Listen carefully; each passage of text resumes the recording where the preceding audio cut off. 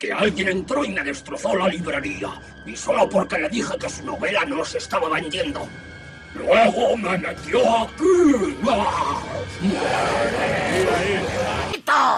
¡Espera la canela! ¡La canela es buena!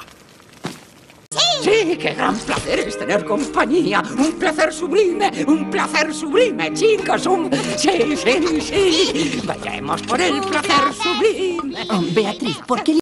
Hola, chaval. Le has echado mucho valor. Señor Rey, muchas gracias. Tienes más talento en una tuerca que muchos coches en todo su motor. ¿En serio? Ah, Pero eres un tonto. Disculpe. Tú no puedes correr solo. Tienes que buscarte un buen director de equipo y una buena escudería. Nunca ganarás si no tienes buena gente detrás y les dejas hacer su trabajo a gusto. Volví a casa del carnaval donde me coronaron como rey salchicha cuando vi en mis pezones del futuro el lío en que os ibais a meter. Me vas a pagar, Charlie. Es más, todos lo haréis. Esta impuntualidad constante debe acabarse.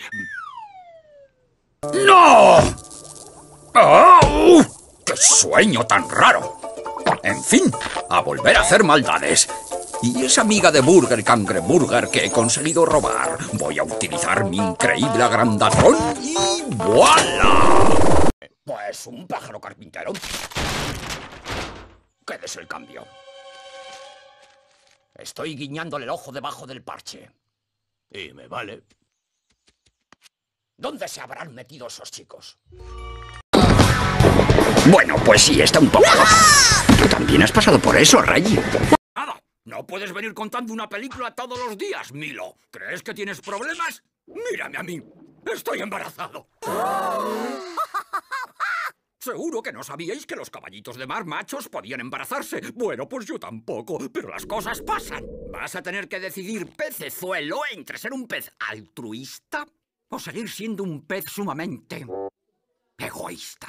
Tranquila, paso a paso, abuela Pig. Primero tenemos que convertir esta calabaza en un farol.